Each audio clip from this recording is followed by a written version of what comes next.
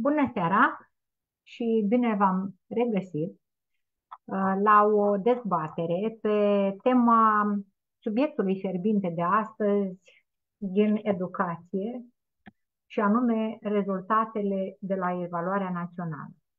Sunt Doina Geru, directoarea Casei Corpului Didactic din Galați și vă invit să urmăriți o discuție pe marginea acestui subiect. Ministerul Educației a publicat astăzi, 9 iulie, la ora 12, rezultatele finale înregistrate la sesiunea din 2024 din cadrul evaluării naționale a absolvenților de gimnaziu, după soluționarea contestațiilor.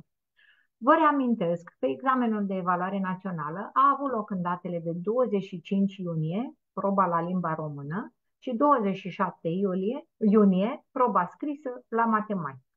De asemenea, vă reamintesc că acesta este primul examen național în care evaluarea are loc digital. Și anume, lucrările elevilor sunt scanate de către asistenții de sală și în același moment sunt încărcate pe platforma care urmează să le distribuie către evaluatorii care sunt evaluatori sub nicio formă din același județ, ci sunt evaluatori din toată țara. Astăzi, în ziua publicării rezultatelor finale la evaluarea națională, vă invităm la această dezbatere în care vom discuta câteva aspecte legate de subiectele de la evaluare națională, despre tendințele remarcate privind aceste subiecte și vom afla cum se vede acest eveniment prin ochii invitațiilor noștri. Și sunt foarte bucuroasă să-i avem împreună cu noi pe Mihaela Mihailescu, profesoară de istorie și directoarea școlii gimnaziale numărul 1 din Independența, județul Galați. Bine ai venit, Mihaela! Mulțumesc că ești cu noi! Bine v-am găsit, mulțumesc de invitație. Îl avem alături uh, ca și la cealaltă dezbatere a simulării, rezultatelor simulării pe Cătălin Zaman, profesor de limba și literatura română și directorul școlii gimnaziale învățător Nicolae Spas din Ulmeni, Clondiru, județul Buzău. Mulțumesc pentru prezență, Cătălin. Sărut, mulțumesc și eu, Doina, pentru invitație. Și pe Sorin Haiduc, profesor de matematică și director al Colegiului Național Pedagogic, preparandia Dimitrie Țichindeal din Arad. Bună ziua! Mulțumesc! Sorin, să ești cu noi. Întâlnirea de astăzi este disponibilă în mod gratuit profesorilor, directorilor, elevilor și părinților din toată țara. Ne adresăm lor prin Zoom uh, și prin aceste transmisiuni în direct. Puteți vedea direct pe Facebook, pe pagina evenimentului dedicat și pe paginile uh, proiectului Merito și ale Casei Corpului Didactic din Galați. Dezbaterea este coorganizată de profesorii contributori sub umbrela Casei Corpului Didactic Galați și a proiectului Merito. Ne propunem ca întâlnirea să dureze aproximativ o oră jumătate Uh, așteptăm întrebări și sugestii de la dumneavoastră, opinii ale profesorilor și ale colegilor care sunt sau ale părinților care sunt în Zoom, precum și ale uh, invitațiilor sau ale colegilor care ne urmăresc de acasă pe Facebook. Înainte de a intra în subiect, aș vrea să menționez un lucru. Niciunul dintre profesorii contributori de astăzi, și mă refer uh, la profesorii de limba română și de matematică, nu au participat la evaluarea tezelor din sesiunea evaluării naționale care tocmai s-a încheiat. De altfel, aceștia au evaluat lucrări la simulare examenului, simulare desfășurată în primăvară, urmată de o dezbatere a noastră, Uh, dar uh, în, acest, uh, în această sesiune nu au participat efectiv la, la evaluare. Pentru început, vă propunem o scurtă recapitulare a subiectelor pe discipline și a tendințelor remarcate la evaluarea națională de astăzi. Și știu, Cătălin, că tu ai pregătit o analiză pe acest subiect din punct de vedere al subiectelor la, al disciplinei limba română. Să deschid microfonul. Doina și toți ceilalți care ați mai participat la sesiunea cealaltă. Știți că eu sunt un om al statisticilor și mie îmi place să analizez în detaliu felul în care Ministerul ne pune la dispoziție uh, subiectele. Vin și spun, vin cu o precizare încă dinainte. Cred că corect pentru toată lumea ar fi fost ca Ministerul să publice după uh, ce s-a desfășurat examenul și celelalte variante care uh, au fost propuse pentru Uh, pentru acest examen, uh, pentru că elevii au primit varianta 3, dar noi niciun an nu știm cum arată celelalte variante și ar fi, fi foarte util și pentru noi să le primim, pentru că le putem lucra în anii următori cu generațiile care urmează și am putea observa cumva și anumite tendințe de uh, concepere a lor. Ceea ce, totuși, dacă analizăm comparativ subiectele de anul acesta cu cele de anul trecut, nu este nici foarte greu să ne dăm seama, întrucât ele uh, se aseamănă într-o proporție um, izbitoare. O să încerc un, uh, o să încerc un share, dar nu știu dacă o să reușesc eu să vedem aici. Dar nu înțeleg de ce nu găsesc documentul Word. În proporție de peste 60%, documentele cred că se vede acum, nu? Da. Da. Ok, în proporție de peste 60%, subiectele seamănă izbitor de mult cu cele de anul trecut. În sensul în care ei, dacă au avut de identificat un câmp lexical al fructelor în 2023, au avut de identificat un câmp lexical al naturii. Dacă au avut de uh, extras două figuri de stil din uh, textul respectiv, anul acesta li s-a restrâns cumva la un fragment, dar tot două figuri de stil au avut de extras și de acolo. Iar pe partea, pe partea de gramatică, uh, am și înroșit subiectele care, uh, care uh, se aseamănă sau care sunt cumva chiar uh, identice, astfel încât până și la subiectul de frază, ei au avut anul de, trecut de extras două subordonate, o completivă directă și o circunstanțială de mod, care s-au păstrat și anul acesta. Tot completivă directă și tot subordonată de mod au avut de, de extras și anul acesta. Au avut caracterizare de personaj anul trecut, caracterizare de personaj anul acesta. Nu știu cu ce ar putea să ne surprindă niște subiecte de la minister care vin an de an pe același tipar, practic. Dacă te apuci și lucrezi uh, testele de antrenament, nici nu trebuie cele din 2021, cele din 2022 și modelele de subiecte uh, propuse de minister și modelele de simulare și modelele care s-au dat în anii trecuți, îți faci o imagine, ușor o imagine asupra felului în care vor arăta aceste subiecte. E drept. La partea de gramatică au apărut ceva uh, cerințe un pic mai complicate, dar eu militez pentru subiecte mai complicate, pentru că în felul acesta departajarea între elevi se face mult mai bine și mai corect, uh, astfel încât s-a văzut și în notele care au fost obținute, note uh, la vârf, cel puțin note mai mici decât uh, uh cele din, uh, din anul trecut.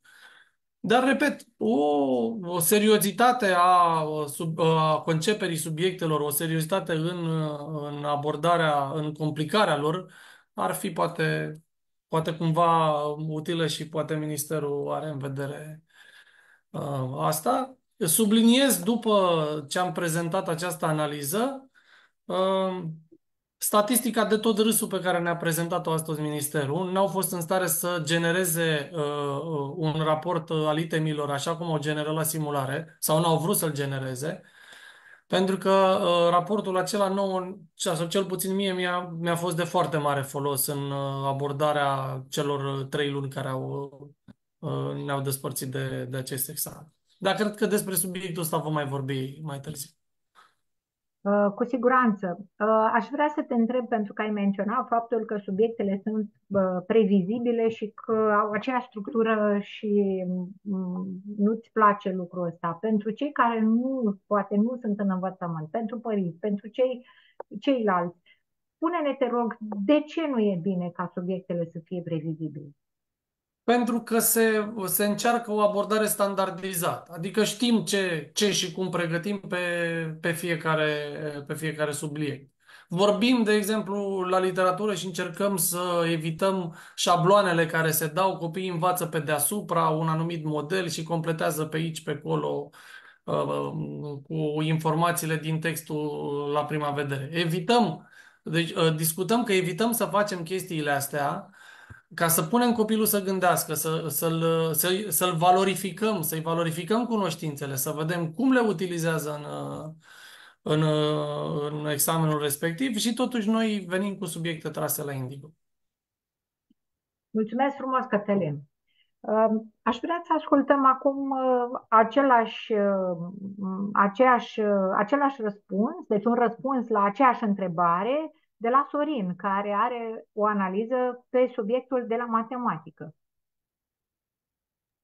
Da, referitor la subiectul de la matematică, aș spune că anul acesta, punctul de vedere al subiectelor de la, sau al problemelor de la subiectul numărul 3, lucrurile au stat oarecum mai bine decât în anii precedenți, pentru că aceste probleme care presupun uh, acordarea notelor de la 7 la 10 au fost un pic mai uh, bine structurate, în sensul că au uh, reușit să pună probleme mai mari copiilor și au asigurat o oarecare ierarhizare mai bună a copiilor cu note mari.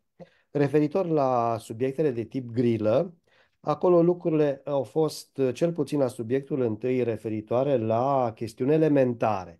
Un calcul uh, numeric simplu, un uh, calcul de procente, o intersecție de intervale, comparări de numere.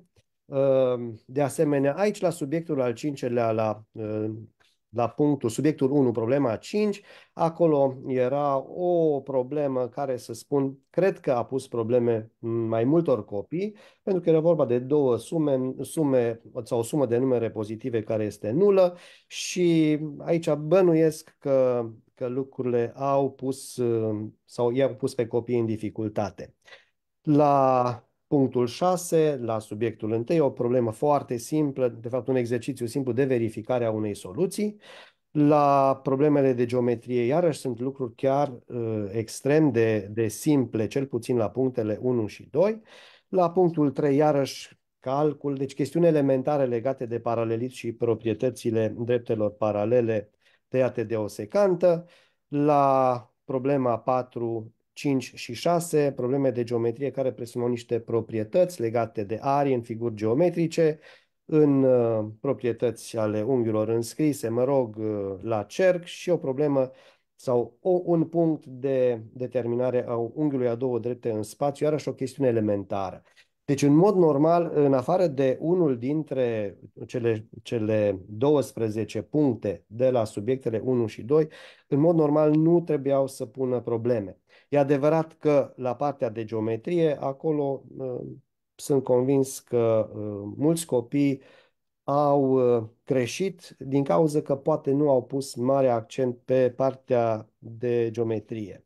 La subiectul al treilea, aici am avut o problemă tipică, așa cum a apărut în toate variantele de subiecte, sau aproape toate de verificare și o o problemă care se rezolvă cu ajutorul unei ecuații sau sistem de ecuații, iarăși de tip uh, bănci elevi, care, uh, după cum știm, în mod normal ar trebui să fie făcută în fiecare clasă. La problema de calcul algebric, lucrurile iarăși o simplă verificare la punctul A, pe care trebuia să o facă absolut toată lumea. În mod normal, orice copil ar trebui să știe să descompună un trinom de gradul al doilea și de calcul, chiar o expresie algebrică chiar simplă în comparație cu cele din manual sau din culegerile pe care le folosesc copiii pentru pregătire. Să spunem că punctul B, dar tot acolo un, un calcul simplu de determinare a unui număr natural niște condiții date. La exercițiul cu funcții, așa cum știm că apare în fiecare, în fiecare test, era vorba de un calcul simplu de determinare a valorii unei funcții într-un punct respectiv. Două, era banal și trebuia ca orice copil să-l facă, fără excepție. Hai să spunem că la punctul B, unde era de, de aflat distanța de la un punct la o dreaptă, acolo poate că apăreau niște dificultăți pentru că punctul respectiv nu era chiar originea sistemului de coordonate. Legat de celelalte probleme de geometrie, acolo cred că au fost bine structurate. În ce sens? Au comportă niște, niște cunoștințe mai aprofundate, uh, în special punctele 4, la 5 de asemenea la o problemă cu cercul, iar la problema de geometrie în spațiu, punctul A era uh, absolut banal, nu comporta nicio dificultate, iar la problema sau la punctul B, la geometria în spațiu, iarăși sunt convins că teoretic toți profesorii de matematică ar fi trebuit să rezolve cu copiii astfel de probleme. Prin urmare, subiectele de această dată consider că au fost uh, mai apropiate de sau au dus la o ierarhizare mai bună. Acum, legat de gradul de dificultate, eu am făcut uh, și eu un test comparativ în ceea ce privește anii precedenți, legat de, de numărul de copii cu medii peste 9,50, peste 9 și așa mai departe la nivelul județului Arad și trebuie să spun că în comparație cu anii precedenți, doar în urmă cu patru ani, subiectele au fost, să spunem, mai dificile sau au, au pus probleme copiilor. Dar dacă este cazul, pot să intru în detalii. Uh, sigur, nu e, nu e nicio, uh, nicio problemă. Înțeleg, Cătălin, că ai uh, vrei să revii asupra unui, unei, uh, vrei să faci niște precizări?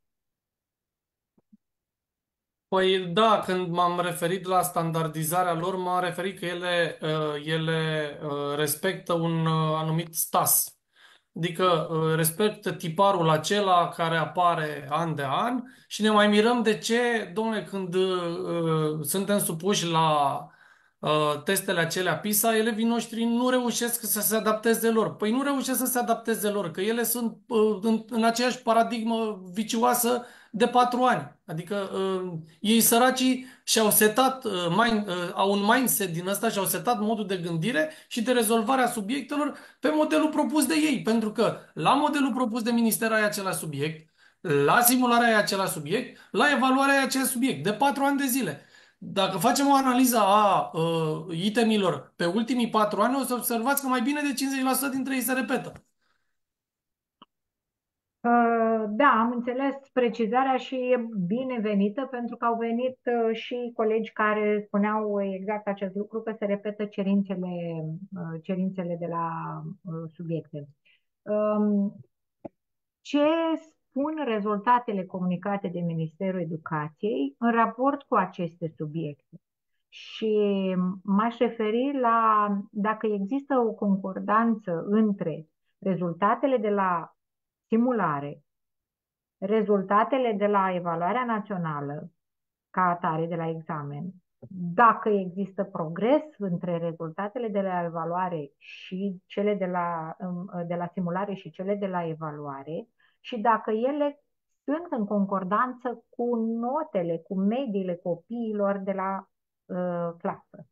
Și uh, știu că toți aveți această, pentru că toți sunteți directori la școlile voastre, toți aveți făcut această analiză și aș vrea să o rog pe Mihaela să ne spună ce a rezultat din analiza ei la școala ei. Da, cred că am nevoie și eu și de imagini ca să fie mai sugestive concluziile pe care aș vrea să le prezint. De fapt, nu neapărat concluzii, vorbim acum de date statistice, concluziile le putem trage și cu toții după ce vedem datele. Um, sper că, sper că se vede. Se vede, Mihala. Da? Bine, mi s-a părut, uh, uh, deci pe prima coloană sunt mediile de la clasă, pe a doua sunt mediile de la simularea națională, simularea județeană și simularea care a fost pe școală, uh, ultima, oh, nu se mai vede acum. Uh, scuze, Mihail, am uh, oprit eu un pic partajarea cu rugămintea să ascunzi tu prima coloană, pentru că vedem și Eu am uh, încercat să o ascund, uh, da, o ascund. Eu am încercat să o acopăr cu niște culori, dar da, o să... Poți să-i dai hide din, da, da, da, da, da, din prima da. coloană. Imediat, da, să fac asta.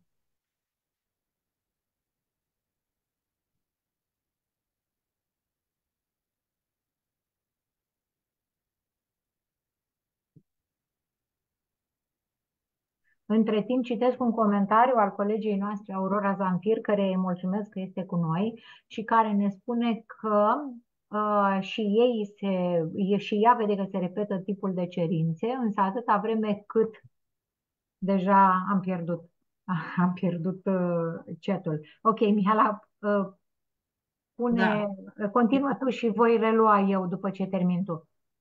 Uh, Da, deci aici la disciplina matematică și uh, surprinzător, deși surprinzător pentru mine, deși uh, uh, au fost mai dificile uh, subiectele la matematică, totuși copiii reprezintă o școală mică, numai 15 uh, copii au fost în uh, evaluare națională, doi corigenți și un elev cu CES, uh, un, un CES uh, mai uh, puternic, care nu a putut uh, participa, nu a putut, nu a vrut să participe la evaluarea uh, națională. Deci 15 copii.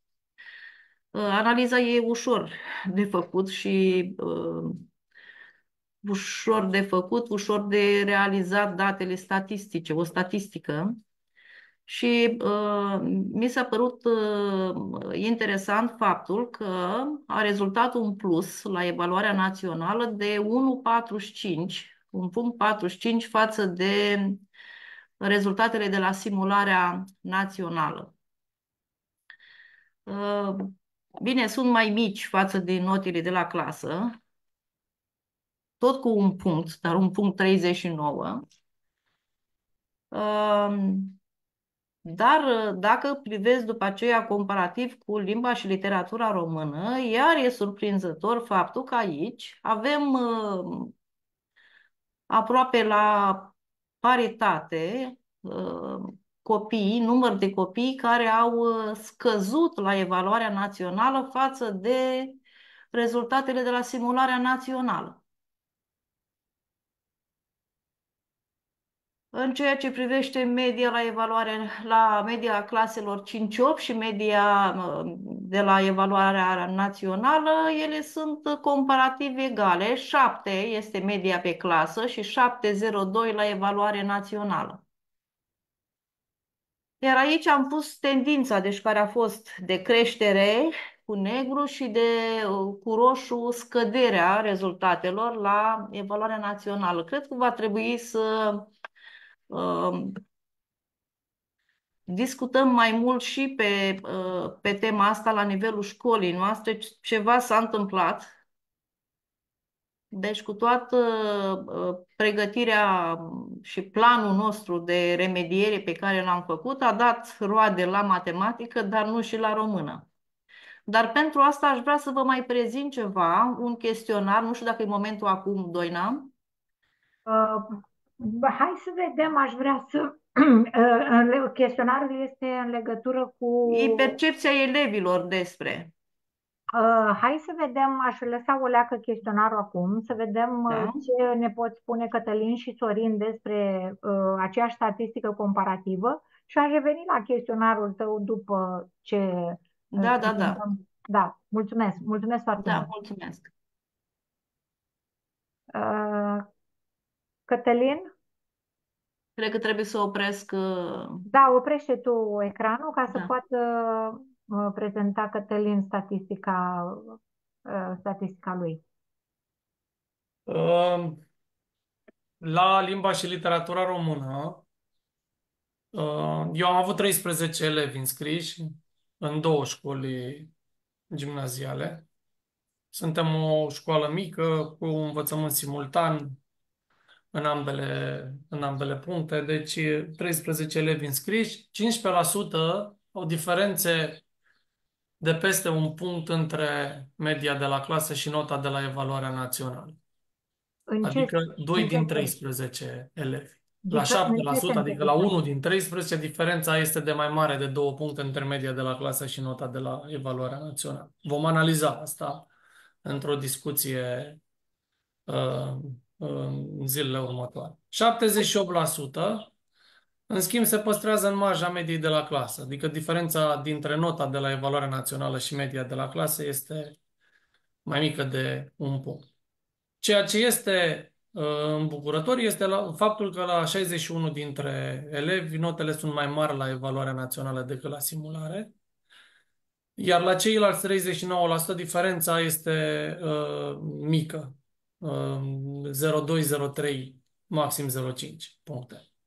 Procentul de probabilitate la simulare este egal cu procentul de probabilitate la evaluare națională, semn că nu am reușit să ne adresăm suficient de bine uh, copiilor care nu au luat examenul acesta nici în uh, simulare, dar au picat cu note între 4,65 și 4,85. Am fost aproape. Având în vedere că la simulare am avut și notă de 2 și 30, par. La matematică, uh, aici ar fi problema. 53% diferențe mai mari de un punct, 46% diferențe de peste două puncte între media de la clasă și nota de la evaluare și la 23% chiar diferențe peste 3 puncte. Iar în 53% din cazuri avem note mai mari uh, la evaluare decât la simulare. Procentul de probabilitate la simulare a fost de 7%, la uh, evaluarea națională de 46%. Semn că doamna profesoară a Uh, a reușit să redreseze cumva corabia și uh, a obținut performanțe semnificative în raport cu cele de la, de la simulare. Uh, vreau să te rog să ne spui care este diferențele acestea de un punct sau de două între media de la clasă și de cea de la evaluare. În minus, în minus sunt. Sunt în minus. Sunt în minus la nota de la uh, evaluare. Sunt în minus la nota de la evaluare, am da. înțeles. Dar, per total, uh, la nivelul școlii, uh, avem o creștere a mediei la evaluare cu 0,79. Da. Uh, mulțumesc, Cătălin. Am și eu o situație statistică similară cu a colegilor mei, doar pentru școala mea, unde 119 copii au susținut examenul de evaluare națională. Și am constatat următoarele lucruri. Am comparat simularea cu examenul de evaluare națională pe discipline și pe medie. Și concluzia este următoarea. La română, la limba română, nota media notelor, evident, a crescut de la 7,35 la 7,77. Asta înseamnă că de la evaluare până la examen, creșterea a fost de 0,42. La matematică, această creștere este semnificativă pentru că de la media de 5,60 la evaluare națională, la simulare, ă, media pe școală a fost de 7 și 10, ceea ce înseamnă un plus de 1,50. Și aici ar fi de discutat ă, să vedem exact care sunt cauzele, de ce sunt note mici la simulare și așa mai departe. Iar legat de media ă, pe examen, creșterea a fost de la 6,47 la 7,43. Asta înseamnă cu 0,96 la, de 0,96 puncte. Asta înseamnă aproape, aproape un punct. Legat de comparația dintre mediile, și asta m-a interesat la nivel de școală și cred că ar fi un, o situație statistică foarte necesar de făcut, nu numai la nivelul școlilor, ci și la nivel de județ, la nivel de țară chiar, pentru că aici se vede în ce fel copiii sunt evaluați la nivel de clasă sau la nivel de școală, dacă evaluarea lor la clasă este corectă, ca să nu ne trezim, așa cum se întâmplă de fiecare dată și în fiecare an, diferențe uriașe între media copiilor de la clasă, când termină clasa 8 cu 8-9 și ei la evaluare națională iau sub 5 sau note extrem de mici. Prin urmare, cel puțin la mine la școală, situația este Uh, rezonabilă, chiar foarte rezonabilă, pentru că media tuturor copiilor la limba română la clasa 8 a fost 7,87, media la evaluare națională a fost 7,76, deci un echilibru aproape perfect între evaluarea de la clasă și nota de la, de la examen. La matematică, 7,61 au fost media pe clasă, sau a tuturor copiilor la matematică, repet, iar media lor la evaluarea națională a fost 7 și 11, deci un minus cu 0,50, iar la nivel de, de medie, de la 7,74 media la cele două materii pe clasă, media lor la evaluare națională a fost de 7,43. În comparație cu examenul, pardon, în comparație cu simularea, 110 din 119 au crescut. 9 copii au scăzut, dintre care doar unul cu peste 0,50, 8 cu 0,20, 0,30, 0,40 și un singur copil a scăzut cu 0,66. Deci pot să spun că aproape toți copiii au, au evoluat și au progresat de la simulare până la examenul de evaluare națională. Mulțumesc tuturor! Este interesant să vedem de altfel și um, ceea ce ne spunea, ce chestionar um, ne are de prezentat Mihaela. Mihaela, te rog să ne prezinți chestionarul tău, pentru că știu că este da. interesant. Um, Imediat. Noi am discutat, da, am discutat să pune problema și despre și problema și se pune problema și, fapt, și a meditațiilor pe care copiii le fac. Deci acești copii la clasa 8 sunt în majoritate copii care fac meditații cu poate și cu câte doi profesori la aceeași disciplină. Și atunci în această situație să vedem dacă există da, dacă există vreo diferență între cei care fac meditații și cei care nu fac meditații, și uh, alte aspecte importante pe care Mihaela ni le prezintă acum. Uh, da, am început cu uh, o întrebare de, legată de rezultatul per ansamblu la examenul de evaluare națională și copiii ale căror rezultate le-am prezentat în uh, macheta anterioară uh, nu e niciunul pe deplin mulțumit și uh, vedem chiar că în partea uh, predomină spre nemulțumire sau pe o, o stare de neutralitate, ca să zic așa, uh, legat de uh, mulțumirea legată de rezultatele la evaluare. Apoi am început uh, cu întrebări uh, mai directe legate de rezultatul la limba română, cât de multe au ajutat lecțiile de la școală cu profesorul de la clasă. Și vedem și aici o statistică negativă,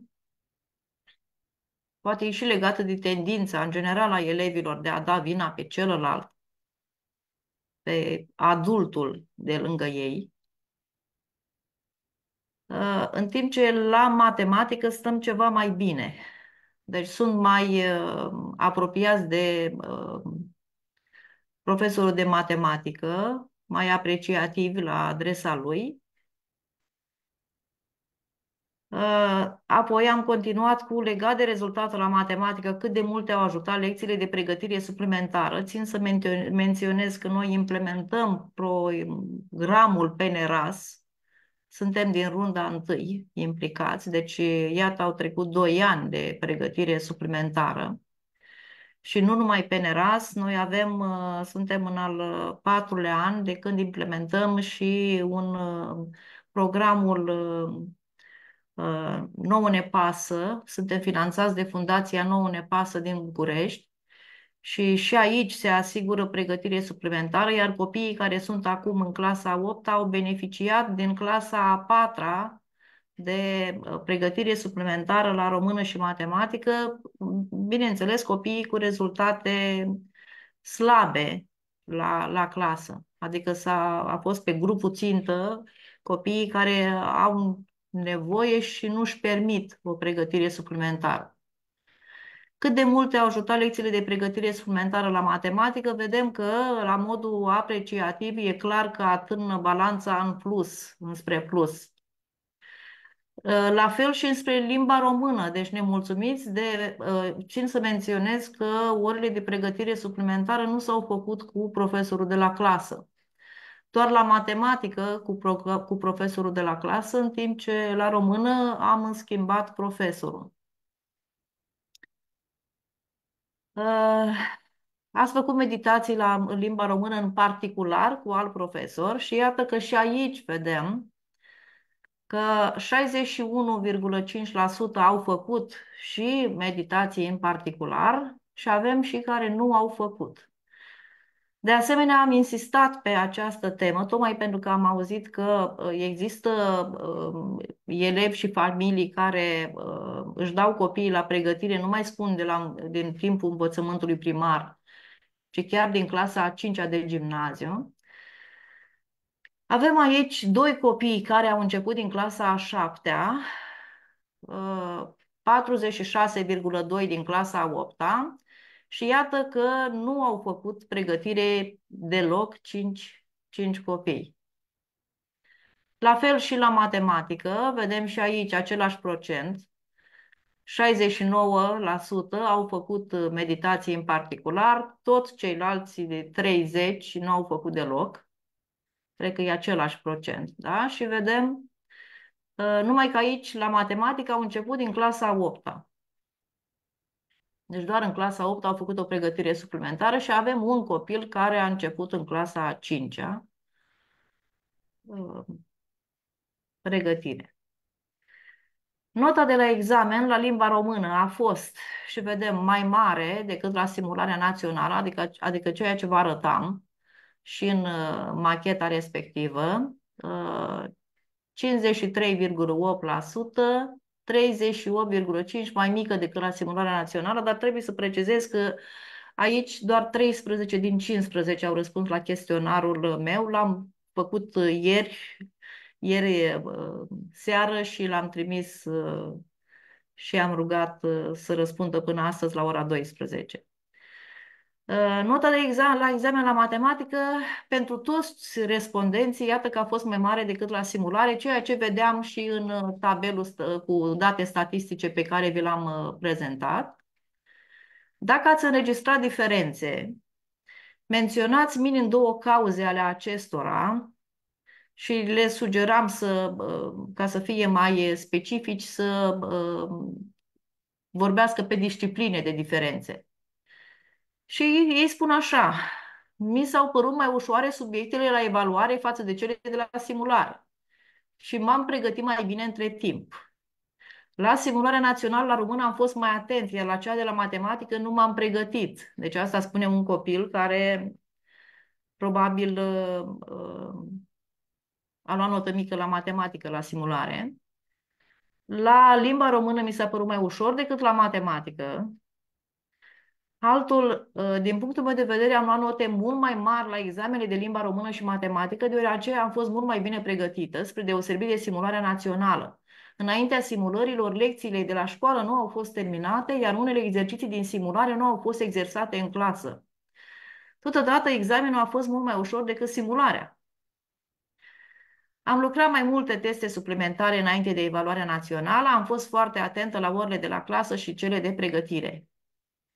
La română am făcut pregătire timp de 2 ani, la matematică am început să fac pregătire din clasa a 8 -a. Deci spune ceva care, cineva care probabil a luat notă mai mare la română sau, mă rog, doar îi explică diferența, nu neapărat să fie de notă mai mare.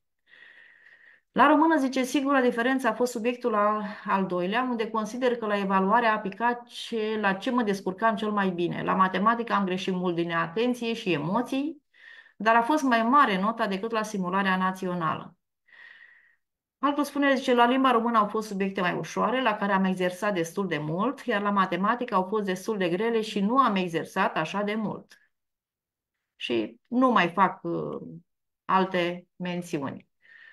Asta e prezentarea chestionarului pe care uh, doream să vi-l prezint, adică o opinie din partea Uh, din partea chiar a elevilor, adică a principalilor uh, actanți, ca să zic așa, în, uh, în evaluarea națională.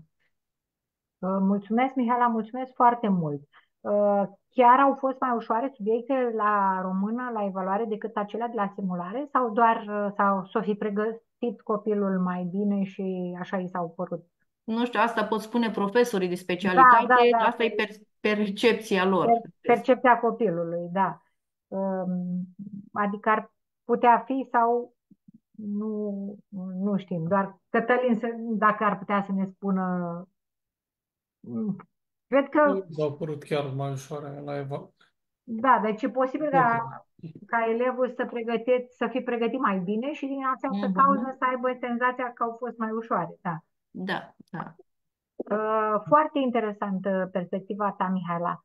Uh, Tot uh, în, uh, în aceste zile, tot as- astăzi, aflăm de la Ministerul Educației, uh, prin statistica lor, că 70, și- aprox- aproximativ 75% dintre elevii care au dat examenul de evaluare națională au luat peste nota 5 automat 25%, aproximativ 25% sunt cei care uh, nu au reușit să ia nota 5. Uh, de ce nu iau toți copiii nota 5 la evaluarea națională?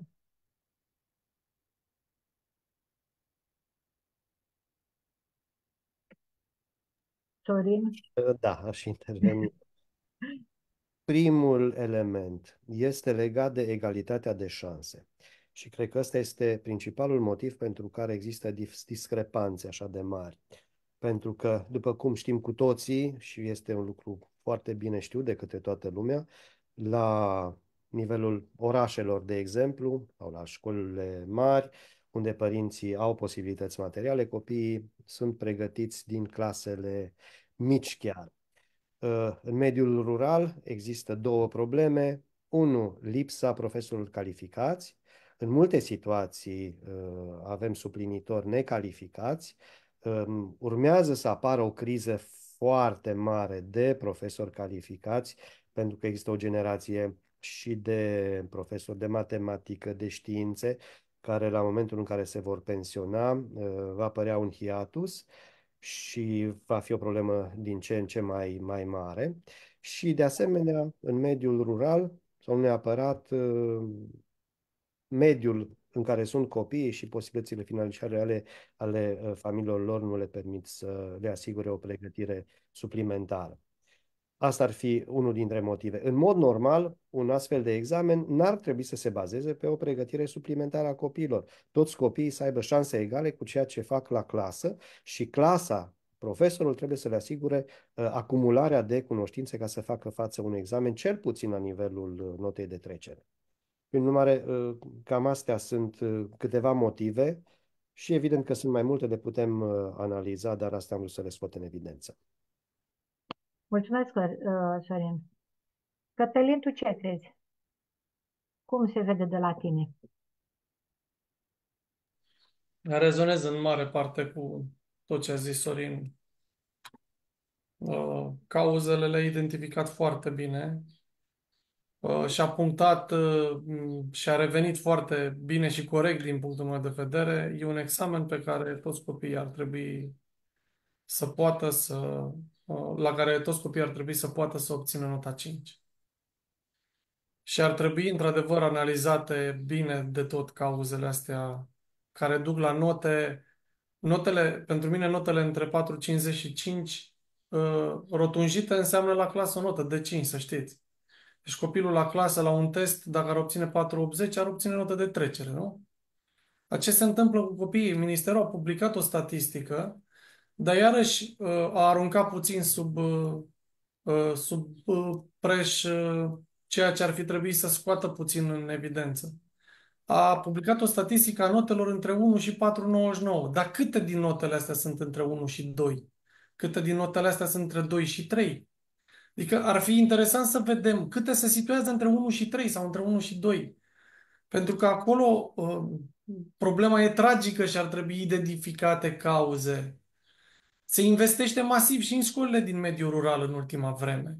Și în tehnologie, și uh, chiar în uh, resursa umană. Adică, uh, în afară de, uh, cel puțin la noi în județ, în afară de profesorii de, de matematică și de științe, de fizică și de matematică mai precis, care sunt din ce în ce mai puțini, toată lumea e calificată. Eu nu am niciun suplinitor necalificat în școală. Și predau într-o școală de mediu rural, adică uh, nu peste tot e problema asta. Și totuși există peste tot școli în care elevul ia... Cum a ajuns copilul acela în clasa 8 să uh, nu obțină o medie mai mare de 2?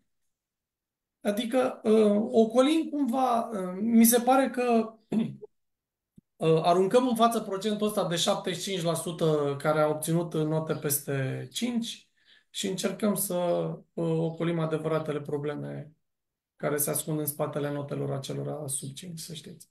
Eu aș spune chiar că este vorba de fraudă, pentru că este inacceptabil ca un profesor de matematică, să spunem, și analiza aceasta trebuie neapărat făcută, la clasă să aibă copilul 8 și la examen să aibă 1,50 sau 2. Deci diferențele acestea sunt uh, tragice pentru că denotă o lipsă de profesionalism din partea profesorilor. Este inacceptabil să, să știi că acestea sunt tipurile de subiecte. Hai să spun că mergi direct doar pe rezolvare de subiecte, doar pe pregătirea examenului. Este absolut imposibil ca la clasă să aibă copilul o notă 7-8, să zicem, și la examen să aibă 2. Deci uh, analiza aceasta trebuie făcută și trebuie luate măsuri în consecință. Trebuie găsite cauzele și, și, și găsite soluții. Uh, Mihaela, aș vrea să te rog să ne spui cum uh, interpretezi și tu acest procent de 25% de copii care nu iau 5. Ce se întâmplă cu copiii ăia? De ce nu iau 5? Da, analiza uh, trebuie făcută din punctul meu de vedere și la școala mea punctual sau individualizat, particularizat pe fiecare elev. Pentru mine este surprinzător, așa cum au spus și antevorbitorii mei, uh, de ce copiii care termină după 9 ani de școală da, nu ajung să ia 5. Mai ales că îi cunoaștem pe copiii ăștia. Eu îi cunosc din perspectiva uh, profesorului de istorie și de uh, educație socială. Copiii ăștia gândesc bine. Deci nu au nicio problemă de inteligență și uh, sunt copii care uh, vor și pot. Și care, uh, deci care a, reuș- reușește să ia note de 9 și 10 la uh, o disciplină la care uh, chiar eu personal lucrez pe evaluare de competențe, deci pe surse istorice, deci pe gândire critică și deci sunt capabili să răspundă unor astfel de întrebări și la matematică nu a reușit să ia 5. Deci, nu știu, e surprinzător pentru mine de ce, având în vedere că este uh, învățământ de bază, deci evaluare națională, nu este bacalaureat, nu e admitere la facultate, nu e olimpiadă, și totuși nu reușesc să ia acest 5. Copiii care pot, pot să gândească. Uh, nu știu, e, eu când văd, de exemplu, uh, pasiunea din uh, uh, glasul profesorilor care vorbesc aici, cred că și aici este. E, e vorba de faptul că profesorii trebuie să fie capabili să le stârnească elevilor, nu știu dacă curiozitatea neapărat, dar relevanța pentru viața reală a ceea ce învață. Cumva, uh, cred că aici, mai ales din perspectiva la matematică, zic pentru că rezultatele sunt mai mici la matematică de fiecare dată, matematica li se pare ceva, o disciplină a zeilor, a geniilor. Ești deștept dacă ești bun la matematică, uh, dacă nu ești bun la matematică, ești mai prost, așa.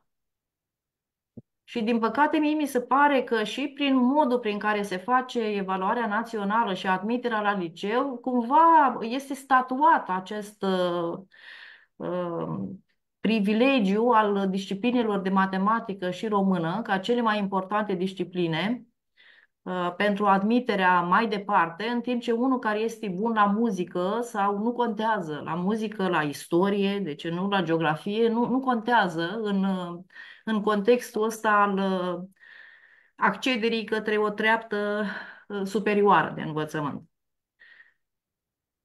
Adică s-a scos într-un anumit context media claselor 5-8, nu degeaba, știm și asta că notarea era făcută cum era făcută, dar totuși faptul că nu mai contează deloc celelalte discipline, cred că este, un, uh, este o problemă aici. Bine, nu răspunde la întrebarea de la care am plecat, de ce nu reușesc copiii să ia 5. dar uh, Eu aș fi curios să avem un număr, Doina. Avem un procent, dar un număr de elevi care nu au luat. Ce înseamnă 25% asta? Uh, Putem calcula dacă ne uităm la numărul de copii care au participat. Nu știu să vă spun acum două secunde să mă uit eu. Deci uh, uh, 1000 152 903 absolvenți de clasa 8 prezenți din totalul înscriși de 160.000. Deci au fost 152.000, 153.000 a prezenți. Din 153.000, 25% nu au luat uh, 38.250 de elevi. un sfert. Asta înseamnă în medie uh, 1530 de clase. Este tragic, spun eu.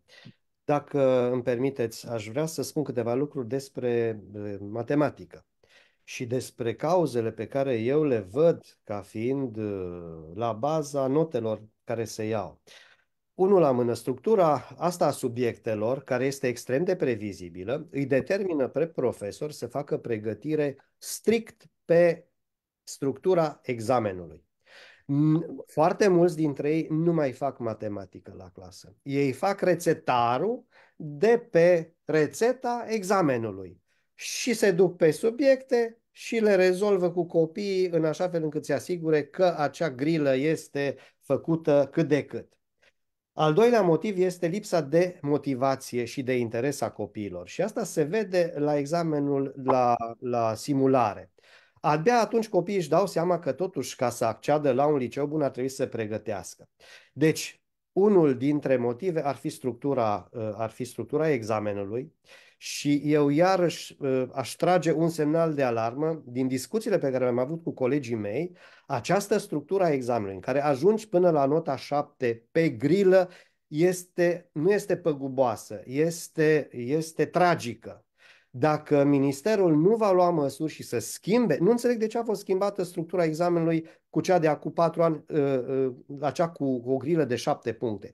Copiii știți ce fac? Se mulțumesc și spun uh, la grilă, rezolv grila, ajung la șapte, mai fac acolo câte două, trei subpunctulețe și ajung la opt. Și opt este arhi suficient ca să ajung la orice liceu rezonabil.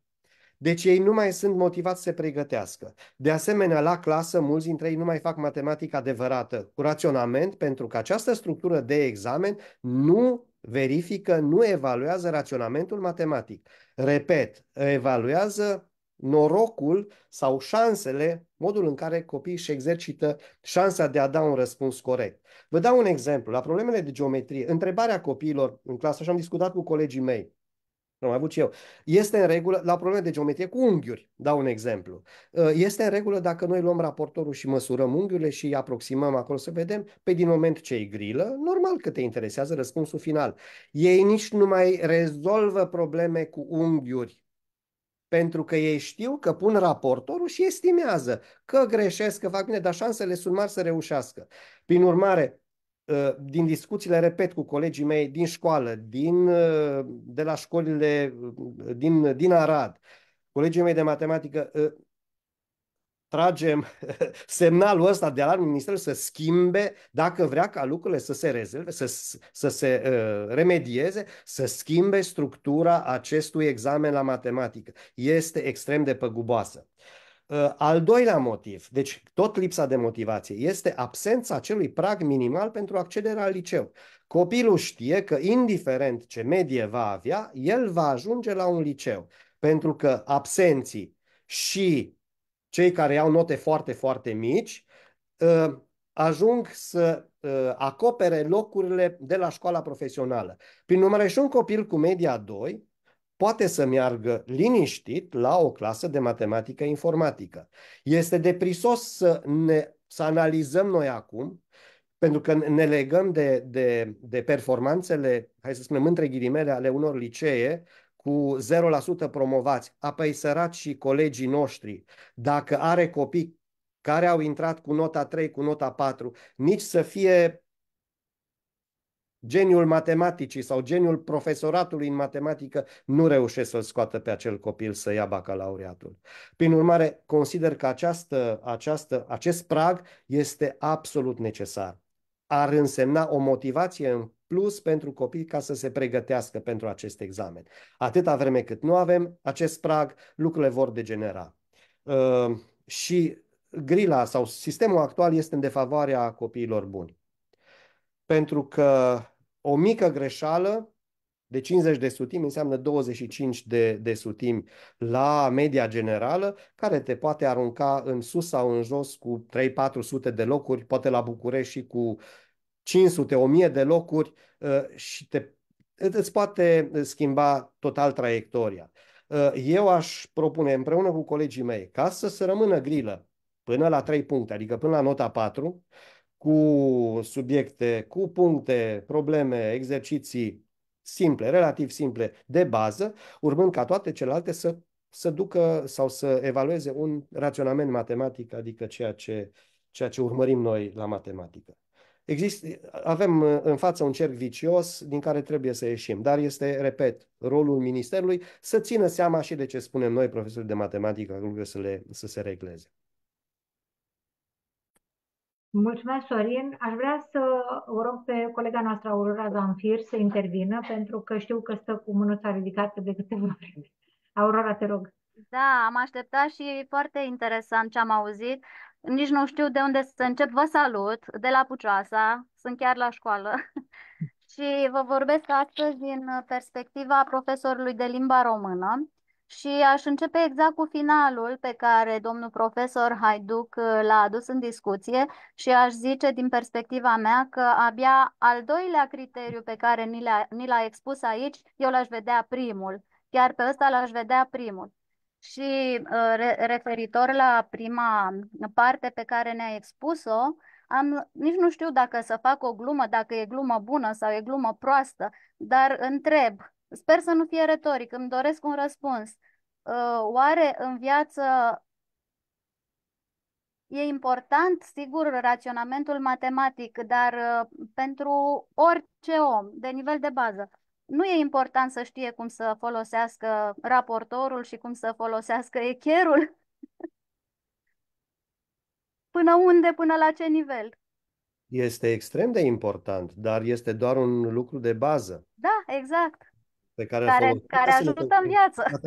Care e scopul matematicii? Unu, să ajute să aplicăm ceea ce știm la matematică în viață. Exact. Ceea ce fac testele PISA, dar pe care noi nu le... Deci, ă, noi ă, dăm copilor teste PISA, dar noi îi pregătim pentru total altceva și ne mirăm că sunt rezultate proaste. Este ca și cum ai antrena un sportiv să sară în lungime și la concurs i-ai da săritura în înălțime. Evident că nicio șansă. Deci la testele PISA, oricât ne-am chinuit noi de acum încolo, dacă pregătirea este așa cum este pe actuala programă, nu vom obține rezultatul la PISA. Toate trebuie actualizate sau îndreptate spre ceea ce ne dorim. Și ceea ce spuneați, aplicabilitatea practică este extrem de importantă, însă nu vedem nici în subiecte și nici în manuale prea puțin uh-huh. această aplicabilitate. Dar aveți perfectă dreptate. Asta trebuie să înceapă de la elaborarea programelor și de la manuale da. și așa mai departe. Da. Și de la subiecte, evident.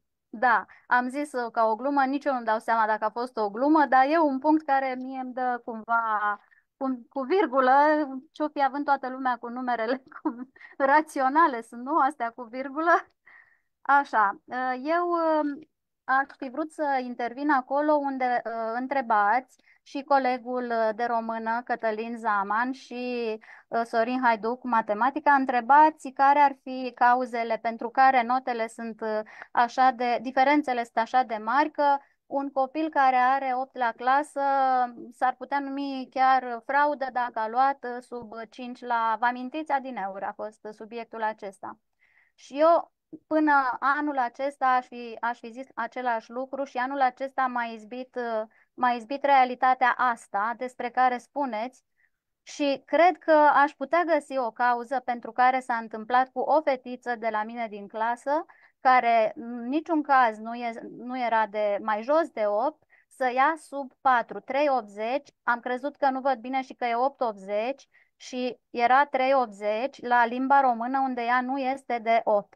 Și atunci mi-am amintit cum începând din pandemie, ea a preferat să stea cu masca până aici și cu bretonul, bretonul în ochi, ascunzându-se, când, ca să obțin răspuns de la ea, trebuia să am extrem, extrem, extrem de multă răbdare, pentru că tare greu uh, dădea răspunsurile și foarte încet și mă apropiam ca să le aud mai bine și uh, ea mai bine le scria și atunci aș zice uh, că una dintre cauze la care poate nu ne uităm prea des, aș zice eu din păcate, este pregătirea emoțională. Și asta vorbesc despre educația emoțională în general, care nu se face începând din clasa 8 în niciun caz, ci aș zice de la grădiniță și nu cred că exagerez. Și eu cred că aceasta este una dintre cauze, pentru că acest copil, fetița asta a mea, cred că a avut un șoc, deși la simulare a luat 8 și ceva și acum am stat și am rememorat toate, toate momentele când ei, ea nu a fost bine cu sine și deși a fost și la consilierul școlar. Deci, poate ar fi bine să ne uităm și în direcția aceasta atunci când căutăm cauzele. Și uh, dacă va fi timp la sfârșit, vă mai vorbesc și din perspectiva unui profesor care a evaluat la uh, lucrări de limba română la contestații uh, și dacă la final mai este timp, de când a început webinarul, printre picături, am um, am stat cu baremul în față și am făcut cumva un fel de analiză a subiectelor și uh, dacă am timp o să vă arăt uh, cât, cât se bazează pe cunoștințe, pentru că știm cu toții că orice competență are la bază cunoștințele, că nu poți să formezi competența dacă nu ai la bază cunoștințele și cât, cât se duc uh, subiectele de bine, aș zice eu, pe modelul testelor de literație brio, căci ajung din nou la aplicabilitate și la viața reală, pentru ce facem și învățăm, dacă de fapt în viața reală nu știm să ne exprimăm corect, nu știm să argumentăm ceea ce, ceea ce exprimăm într-un mod civilizat și, uh, și fără fără conotații da, peiorative sau fără jigniri. Aia? Dana, nu știu, cred că tu ești, eu am cască și te auzi în, în casca mea, mulțumesc. Așa. Da, te auzea cineva în... Da, da, așa. Deci dacă este timp uh, la final, uh, o să vă spun uh, și care de fapt este structurat. Și de ce m-am raportat la Brio? Pentru că testele Brio sunt de nivel european. Sunt, urmează cumva frame-ul, cadrul european al competențelor, că literația este cumva baza chiar și a nerezolvării problemelor de matematică, neînțelegerea inclusiv a cerințelor. Mulțumim frumos, Aurora. Vom reveni la tine în măsura în care da, terminăm sigur. discuția de astăzi. Mulțumesc este în contextul uh, acestor copii, în discuții noastre cu, despre acești copii care nu au reușit să aibă nota 5 la evaluarea națională, uh, vă mai întreb uh, către finalul discuției noastre. Uh, evident, eficiența abordării didactice, a demersului didactic este determinată de măsura în care acesta răspunde nevoilor de pregătire ale elevilor. Cu atât mai mult a celor uh, cu carențe în pregătire. Cum putem să ne asigurăm, pornind de la ce avem anul acesta, de la oglinda aceasta în care ne uităm, oglinda evaluării naționale, și de la ce vedem în această oglindă, așa cum este acum, uh, cum ne putem asigura că anul viitor vom putea pregăti în calitate de profesori și în calitate de directori, vom putea pregăti profesorii și elevii atât de bine încât procentul acesta de 25% de elevi care nu ating nota 5 la evaluare națională să nu mai existe sau să se micșoreze drastic. Ce urmează? Pot eu? Da, Cătălin, sigur. Da, ar trebui o analiză reală, sinceră, concludentă a ceea ce am făcut bine, a ceea ce nu am făcut corespunzător, a ceea ce am fi vrut să facem, dar n-am reușit să facem, să identificăm motivele pentru care n-am reușit să facem asta. Uh, vorbeai de copiii care nu au reușit să ia 5.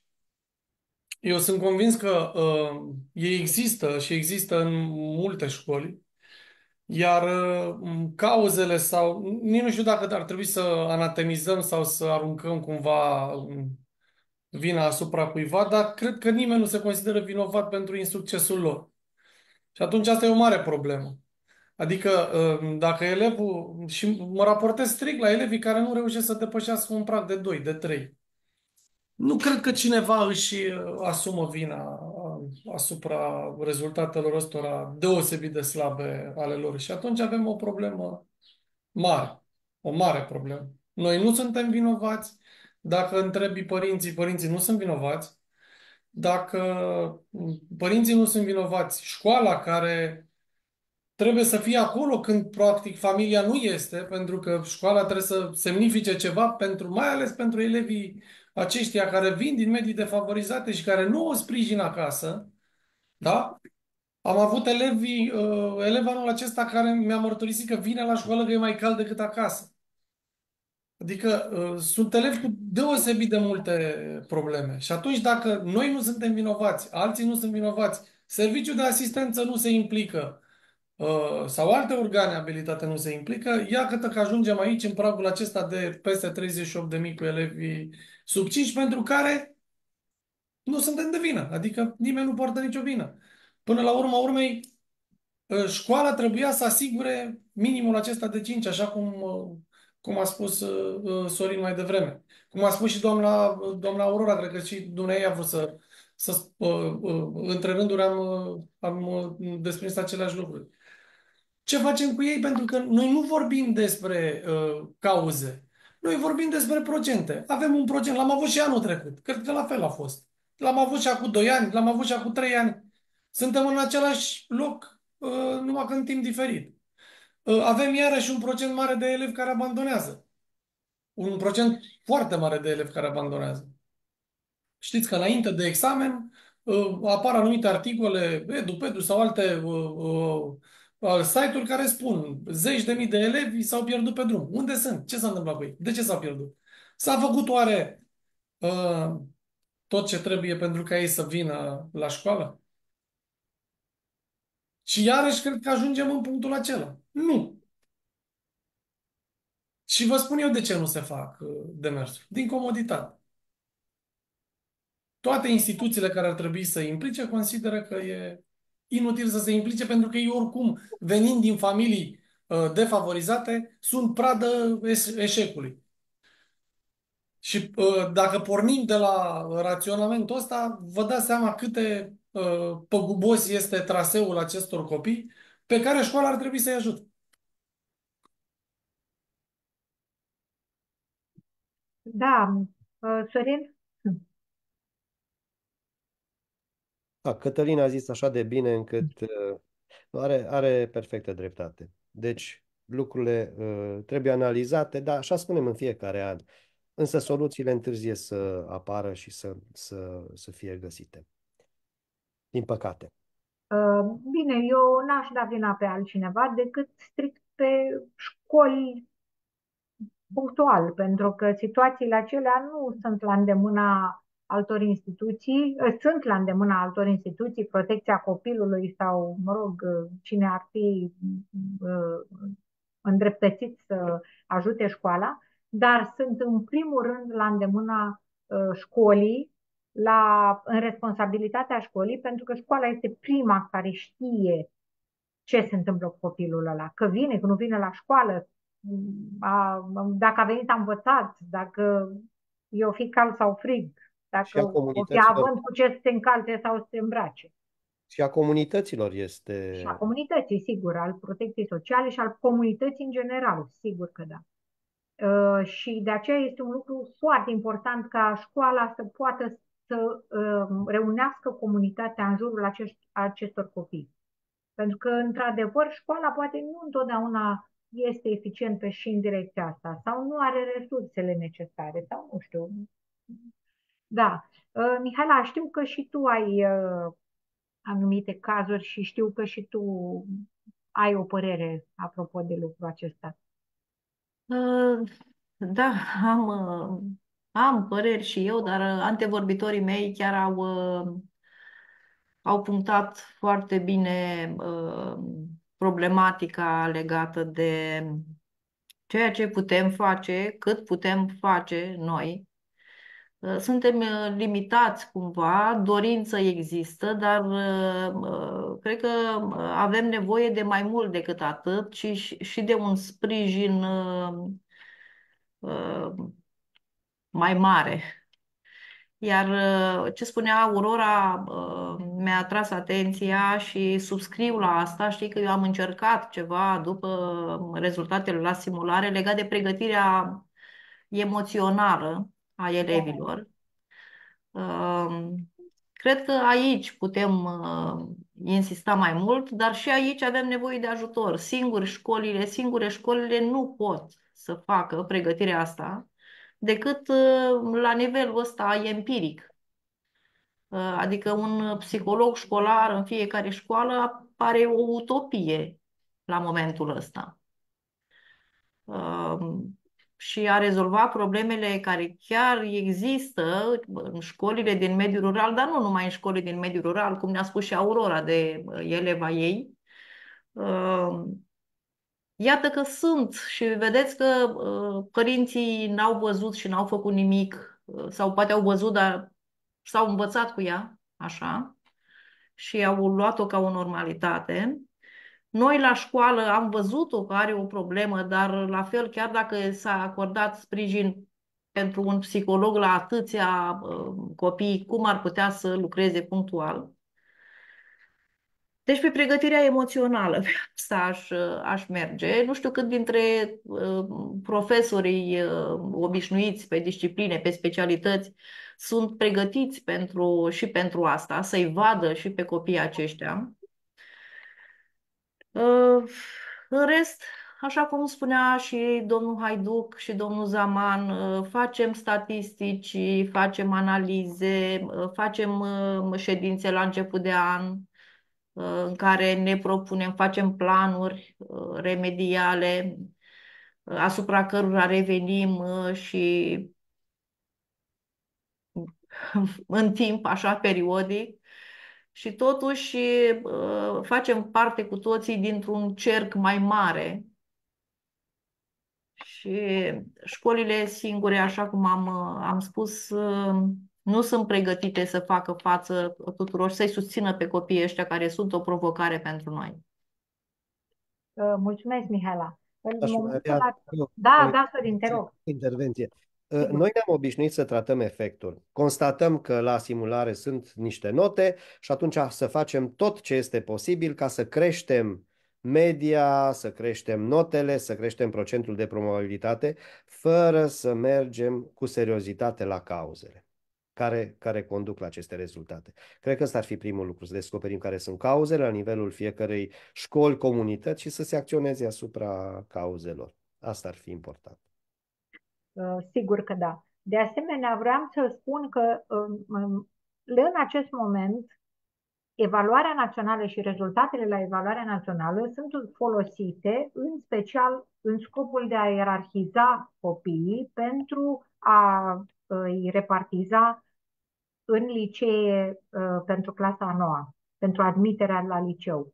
Uh, un lucru care, întreagăt fie vorba, uh, se face la sfârșitul clasei a 8 -a, sfârșitul clasei a 8 -a, care nu reprezintă sfârșitul neapărat al uh, uh, învățământului obligatoriu sau, uh, nu știu, n-ar fi Uh, neapărat un loc și un moment neapărat de ierarhizare. Pentru că e vorba despre învățământ obligatoriu, ceea ce, ceea ce este mai departe. Și de asemenea este vorba de asigurarea șanselor egale. Aici este o discuție mai lungă și poate că altă dată vom intra în discuția aceasta dacă sunteți uh, uh disponibili pentru, pentru ea. Uh, ce ar mai fi de spus? Ce ar fi trebuit să spunem, ce subiect ar fi, ce punct ar fi trebuit să mai atingem și n-am atins pentru că ne-am luat cu vorba? vă rog, din cei care ne ascultă sau dintre noi, ce credeți că ar mai fi de zis? Suntem pe final de dezbatere și n-ar, ar trebui să, să vedem ce ar fi de, de menționat.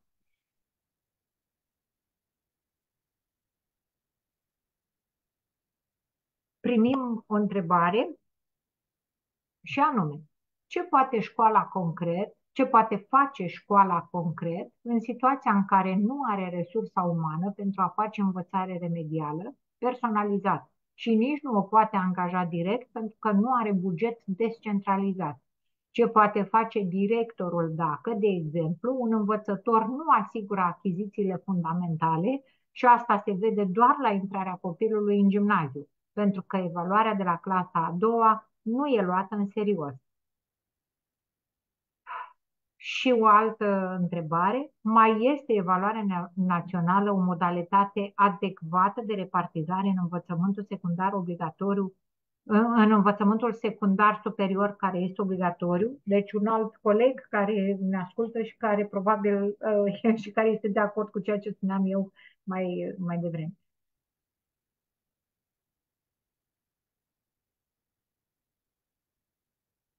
Puteți răspunde. Întrebările sunt excepționale. Din păcate sunt uh, întrebări retorice, la care noi nu putem să dăm un răspuns. Ești director de școală, Sorin. Încearcă să dai un răspuns. Ce faci tu în situația asta?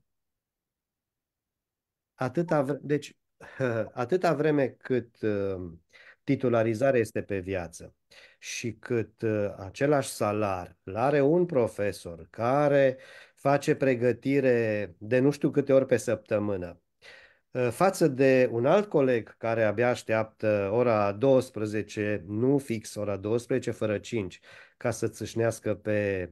Nu-i cazul la mine la școală, vorbesc acum la modul general. Uh, va, se va ajunge la un moment dat în care colegul care lucrează se va întreba dacă efortul lui uh, este recompensat. Acei colegi nu lucrează pentru bani.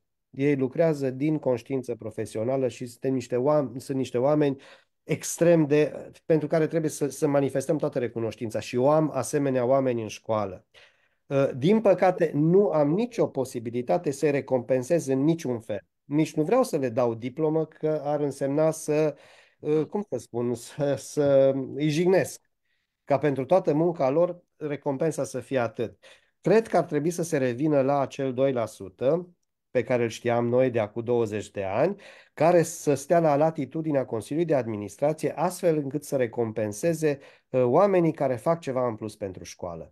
Noi am folosit acel fond încurajând pregătirea copilor pentru Olimpiade, încurajând colegii care uh, făceau activități extrașcolare, tabere, concursuri și așa mai departe, era, era un, un, o sumă, o, un, o modalitate prin care puteam recompensa și material.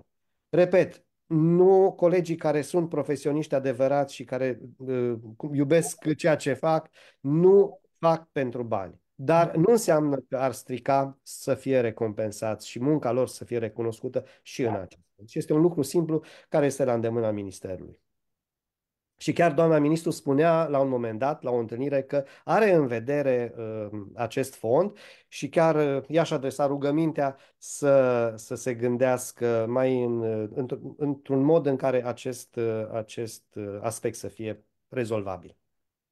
Mulțumesc foarte mult, Sorin, pentru opinia ta și pentru răspuns. Doamna, sunt mâini ridicate și uh, poate oamenii vor să întrebe câte ceva. Simona, da, mulțumesc că mi-ai, uh, mi-ai uh, atras atenția. Mă uitam la Sorin și mă uitam la tine, Cătălin, și credeam că vrei să răspunzi. Uh, Simona, te rog să spui, este cineva care este Simona și aș vrea să... care este Da, aia bună, Da.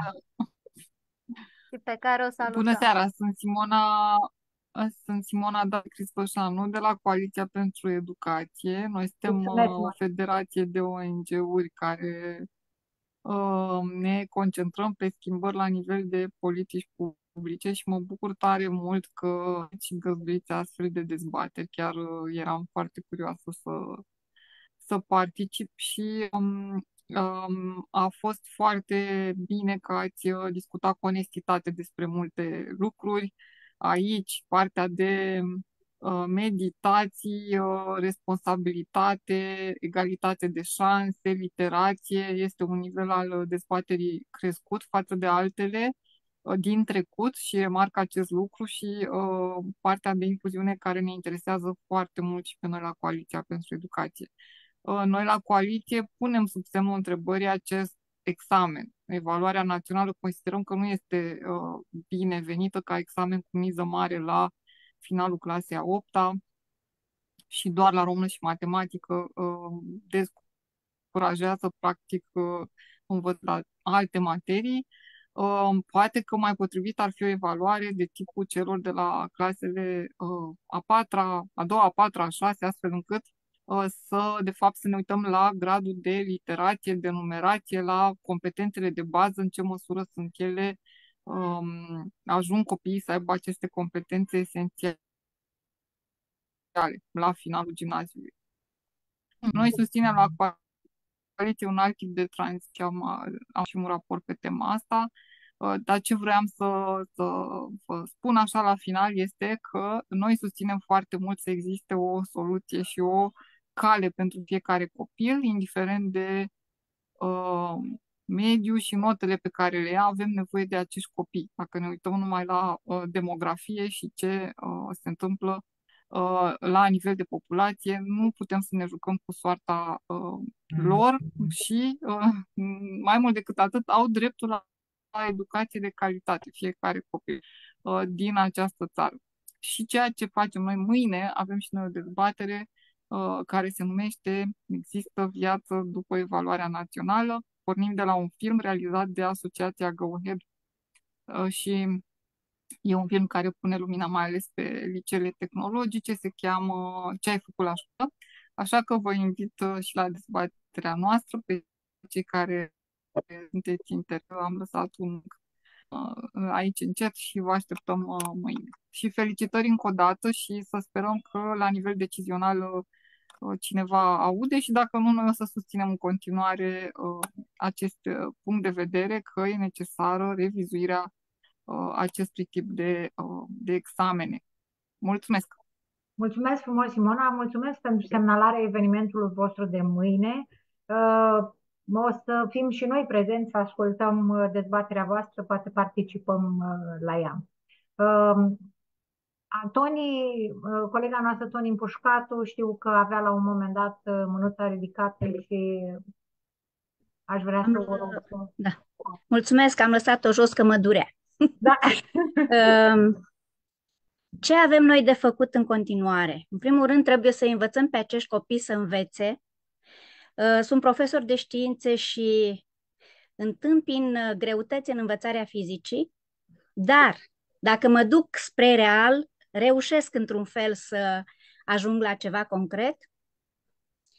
Mai mult decât atât, e o poveste întreagă cu subiectul 3 la uh, matematică care nu este abordat, pentru că e mult text, e multă poveste. Sau subiectul uh, uh, la literatură, când e un text mai lung, ei obosesc să citească.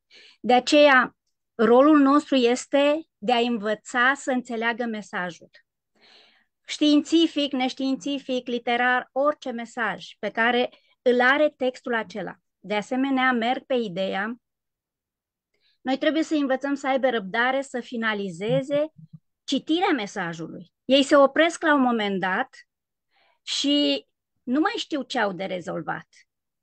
Uh, a spus uh, Cătălin că e o, uh, o, o tendință de a merge spre standardizare. Eu spun că e familiarizarea cu subiectele.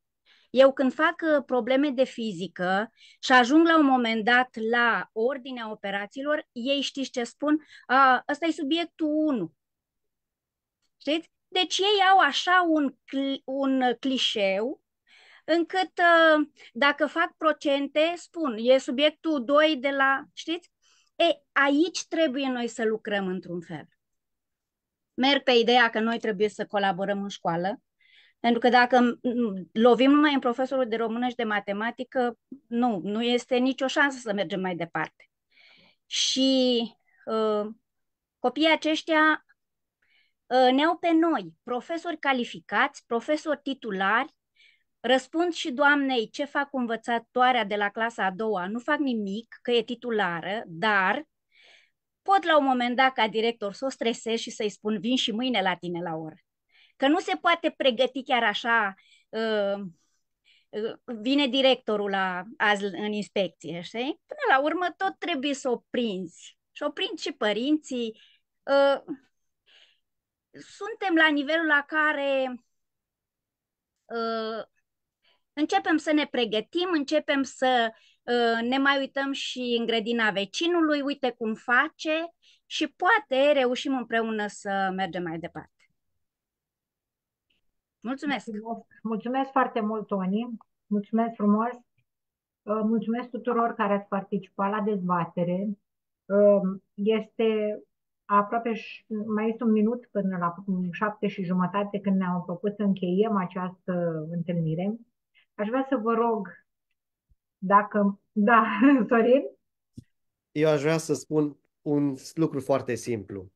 Poate că din discuția noastră se înțelege că școala este română și matematică. Este fals. Școala înseamnă educație și noi toți, indiferent de specialitatea noastră, suntem foarte importanți pentru acești copii pentru că noi le asigurăm educația. Să nu uităm că noi suntem exemple pentru ei și să ne facem, nu datoria, să, să ne facem misiunea așa cum trebuie. Uh, foarte adevărat. Uh, de asemenea, vreau să vă spun că apreciez foarte mult faptul că ați stat cu noi și ați participat la dezbatere și v-ați uh, implicat. Mulțumesc colegilor care au acceptat să fie de față acum și să, să fie contributori, Cătălin, Sorin uh, și Mihala, uh, să fiți contributori la această dezbatere. Uh, acum, cald. Și vreau să mai fac un anunț. Aș vrea să fac un anunț despre un, o altă dezbatere care se va petrece după afișarea rezultatelor de la bacalaureat de asta dată nu chiar în ziua afișării rezultatelor finale, ci cu câteva zile uh, după aceea uh, avem pregătită dezbaterea pentru 16 sau 17 iulie, dezbatere la care vă invităm cu uh, același drag să participați și să vă manifestați interesul la fel ca și pentru această dezbatere. Deci vă promit că va fi o dezbatere la fel de interesantă, cel puțin la fel de interesantă. Um, dacă nu mai este nimeni care vrea să își mai spună... Să, să... Eu aș vrea da. doar în final, da, doar da, să da. Uh, insist și pe faptul că am zis eu că școlile uh, nu au multe instrumente și uh, sunt uneori singure în fața elevilor care sunt provocări pentru noi, dar în același timp aș vrea să evidențiez cât de mult uh, apreciez rolul organizațiilor din afara școlilor, care, iată, uh, se implică și ne arată cumva dacă ceea ce facem, facem bine. Uh, mă refer la Merito, mă refer la um, AVE, mă refer la Aspire Teachers, mă refer la Monica Mocanu cu Telescop, deci sunt atâtea persoane, resurse care se implică și l-aș aminti pe Constantin Lomaca și n-aș vrea să um, știu eu, să ne dreptățesc atâția alți oameni care sunt um, și ne oferă sprijin și cumva ne arată o direcție către care um, mergem și putem merge. Mulțumesc mult uh, tuturor participanților. Mulțumesc și eu și aș vrea pe final să rămânem cu o idee. Știu că, cel puțin asta, cu această idee rămân eu. Uh, știu că foarte mulți uh, uh, se laudă cu rezultatele excelente, cu 10 la evaluarea națională, cu câți de 10 a luat județul sau școala.